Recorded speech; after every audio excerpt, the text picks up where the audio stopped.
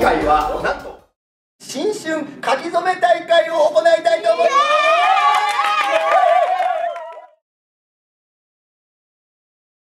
ブープサパ今日も毎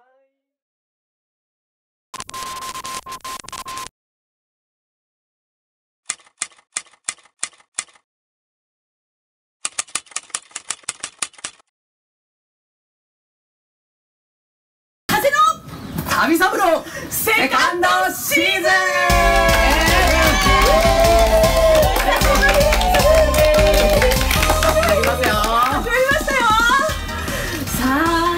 ついにこの季節？いや10月ですよ。季節はそう去年も10月だったからね。去年はどこから始まったんでしょうかね。あ去年も確かあ今実は富山にいるんですけれども、富山で第1回目取りましたね。なんか縁がありますね富山富山には縁がありますね。そうですね。はい、いやーいろんなことをやっていきたいと思いますが。はいあんずです。秋代です。このメンバーに？うん。今年は来ました来ました来ました。来た来た来たどうも今年から新メンバーになりました。片村公彦です。よろしく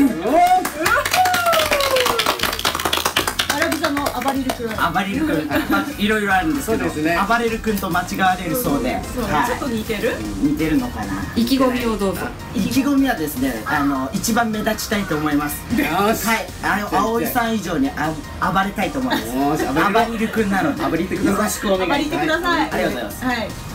じゃあこのこの配信とかですね。そうですね。こういう予定とかをちょっとだけ。おっちゃいましょうか。うん、はい。そうですねまあ今までうん。月2回配信してたんですけども、今回はギュギュッとねそうですね。内容をもっと濃くして月1回はい。濃いものをお届けしたいなと思っております。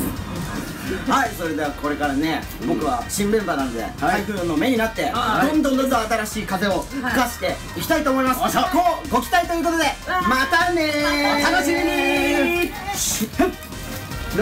に